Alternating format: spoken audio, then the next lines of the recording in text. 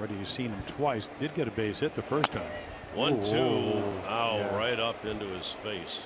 Uh, the curveball straight down on the ground and then up. And Brian Ebel. Well, the Orioles trainer is going to come up. You hope it didn't get him in the eye. Again, trying to wait, wait, wait, and then somewhere around the lid of the hat. Showalter will come out to check. Ooh, nose. Maybe the nose.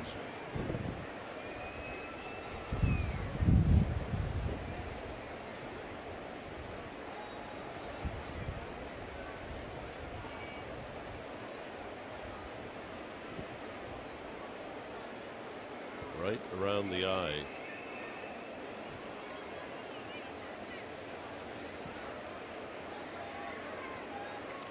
Well, Seth Smith will hang in.